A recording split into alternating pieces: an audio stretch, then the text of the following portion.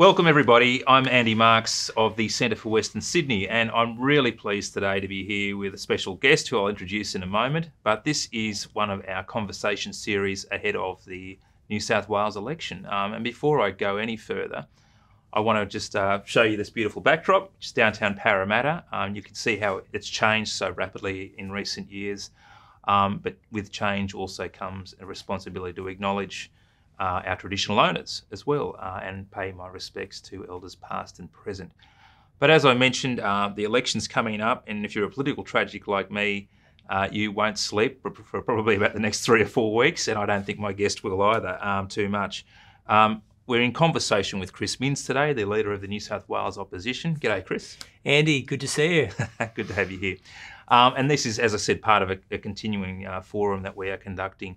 The idea is to make sure, and this is incredibly biased on our part, we're on the side of Western Sydney, and we want to make sure both government and the opposition, who are the potential incoming government, of course, um, have Western Sydney fairly and squarely in their sights. And so that's what we'll talk about today.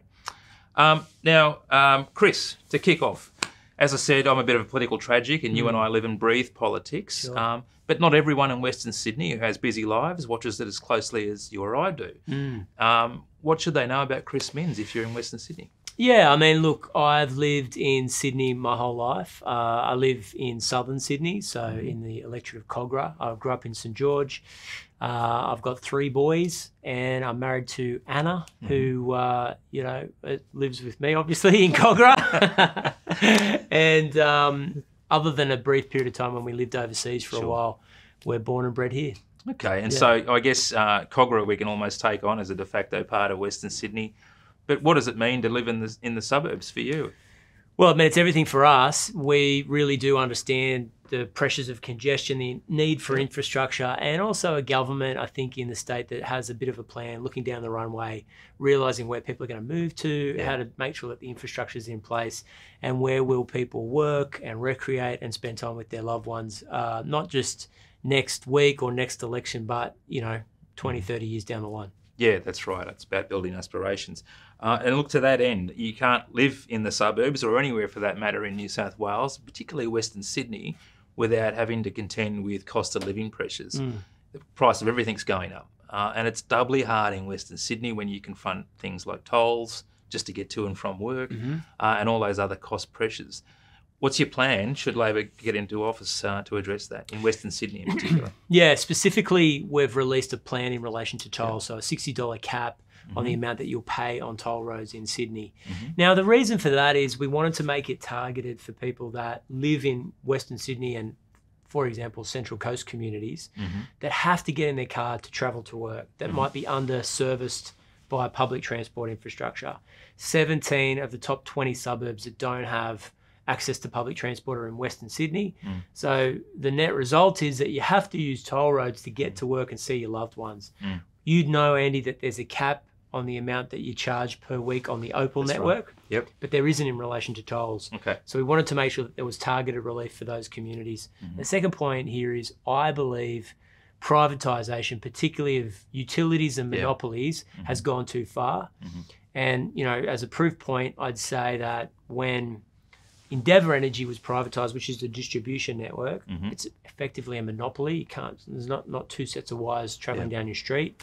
We now know through independent research that super profits were charged on that 15% a year. So that's mm-hmm. 200 bucks a year, mm-hmm. mainly for Western Sydney families. Yeah. So I've just said, look, I, I think privatisation's gone too far. So that's going to become a little bit of a line in the sand, it seems, at the election. Would you say that's the case? yeah, I mean, you know, perhaps you've got to give Premier Perrottet points for honesty, but he's saying, you know, privatisation is still on the agenda okay. for the New South Wales government.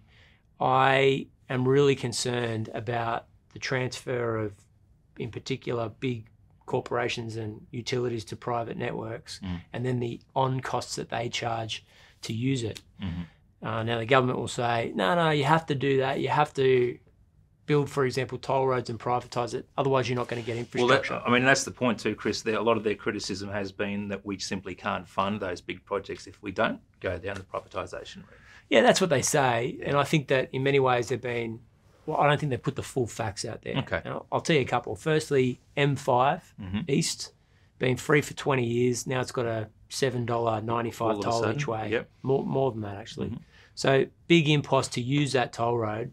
That road will be paid off eight times over by the Mm. life of its contract. Mm. Now, that's not user pays to build the infrastructure, like, for example, the Harbour Bridge. Yep. That's paying it off and paying it And a off bit and paying more. it off again. Yeah. Yeah. Yeah. Now, all that money's collected, Mm. sent off to a private company. Mm. WestConnex, for example, uh, built for 21 billion, Mm-hmm. sold for 20 billion, Mhm. but the state misses out on the 70 billion dollars worth of dividends Mm. that would have come, or revenue, I should say, Yeah, that would have yeah. come from the ownership of that asset because it's been sold off to a private Okay. company. Okay, so uh, clearly a little bit of a different approach there, and one that goes into the question of infrastructure, which, uh, as I, as I mentioned, will be a big issue. Um, the other really big issue, and this goes back to families as well, is around education. Yep. Now, uh, we're losing a reported one in nine new teachers within the first five years of them going out and starting their career. Um, and you know there are all sorts of reasons for that. They might talk about yeah, administrative burden. They might talk about low wages, etc.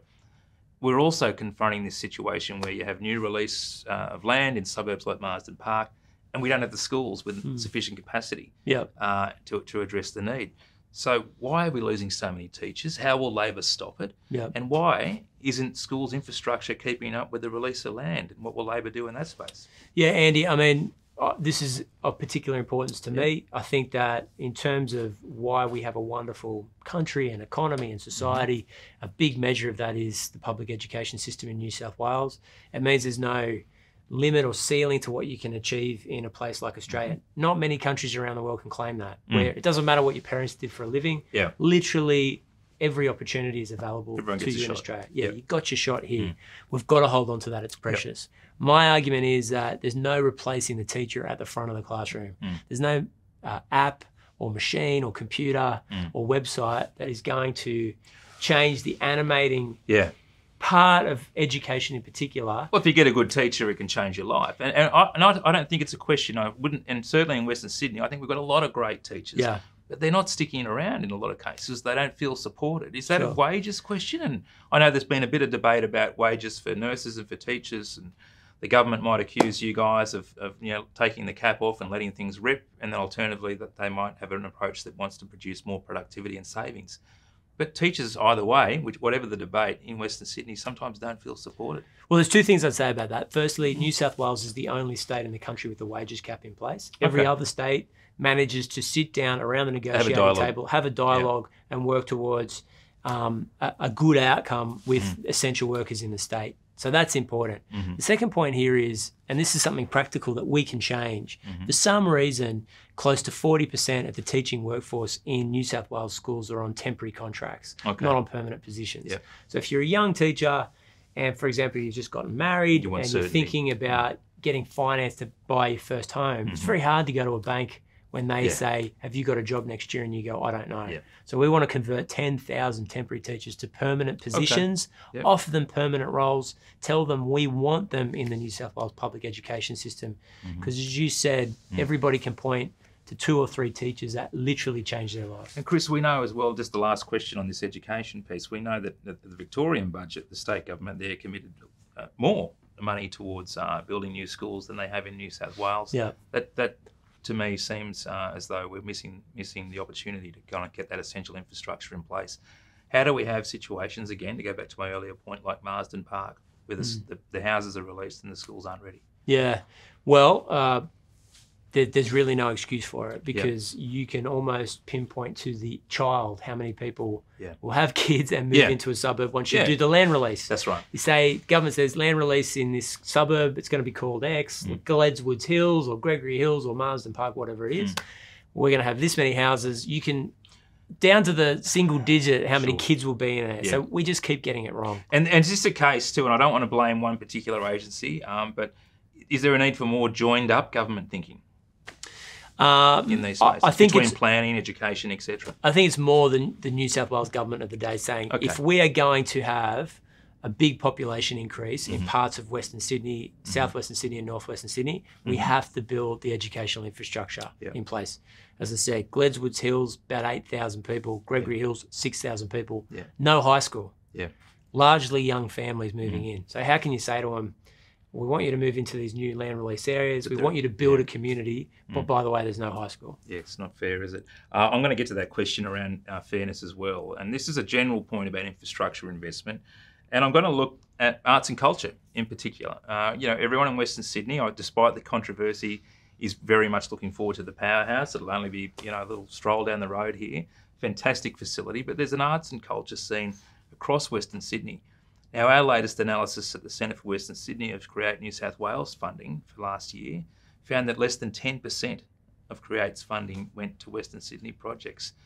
How's that the case when we represent such a bigger share of the population? Why isn't Western Sydney getting its fair share of arts yeah. and culture funding? Look, I saw that report, and. I've got to be honest with you, I was su- I was surprised by it. I yeah. didn't realise that there was such a discrepancy between East Coast or Eastern yeah. suburb centric funding and emerging mm. new creativity in Western Sydney. Mm. So we want to work with organisations like yours to mm. make sure that we can get some fairness in relation to arts and culture spending. Mm. And, and there's also got to be a realization, I guess, an understanding that emerging artists are largely coming from these communities. They are. Because yeah. um, the lived experience of uh, these communities is more relevant and interesting, and the art mm. that they're producing is of, of, of you know wonder and importance. It's probably a dimension of you too. Going back to our initial question about you know uh, about what you uh, represent and the things that you uh, are, are, into. I think maybe the public's not really aware of the fact that you, you have a kind of I guess an eye for arts and culture as well. Yeah, perhaps. Yeah. I mean, look, I, I don't know, but. Um, I, th- there's no question that we can be doing more, mm. and and by more I mean, um, and this was an interesting thing that the Whitlam government did, mm. and then and then even its its predecessor government, mm. the, the, coalition government at mm. the time, which was supporting unique Australian voices. Yeah. So recitals of Shakespeare and opera, they're they're important. They're cultural heritage. Yeah. I, am not not knocking yeah, them. Yeah, yeah. But we have to encourage unique Australian voices. So more local content. Too. Because yeah. primarily because in 50 years' time or 100 years' time, mm.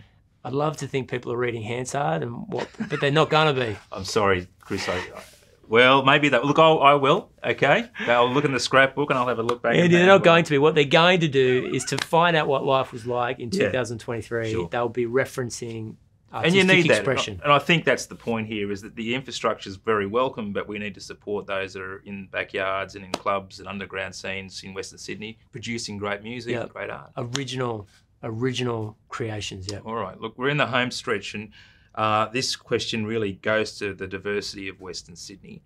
Um, I think that we saw at the federal election how um, issues involving women, uh, the environment, sustainability, etc., became a big push. The teal wave.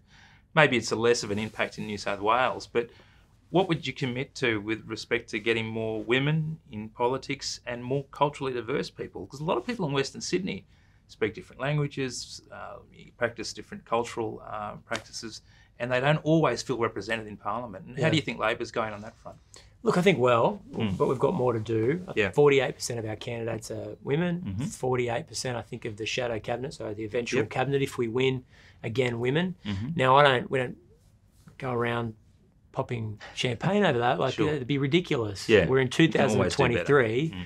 And of course, half yeah. the representative leadership of the party should represent and look like the community that we yeah. hope to yeah. be elected by. You, you, need to have a team that looks like the electorate that you want to represent. But you, now, now you are in opposition, and that means that you sometimes put a lens to government. How do you reckon they're going in that space?